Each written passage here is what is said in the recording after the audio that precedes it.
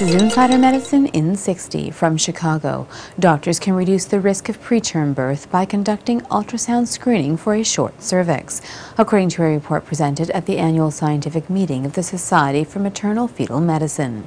Researchers estimated the outcomes and costs of screening cervical length in all women, not just those at high risk for preterm birth.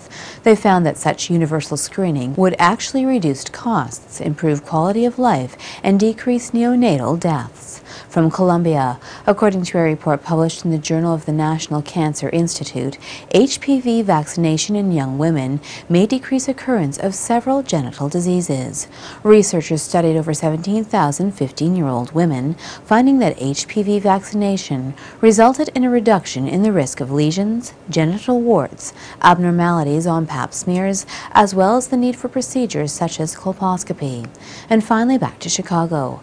According to another report presented at the annual scientific meeting of the Society for Maternal Fetal Medicine, scientists may have identified the process by which the hormone progesterone wards off preterm birth. Many preterm births occur because the fetal membranes are weakened by apoptosis and consequently rupture.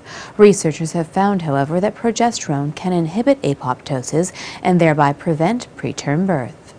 For Insider Medicine in 60, I'm Dr. Susan Sharma.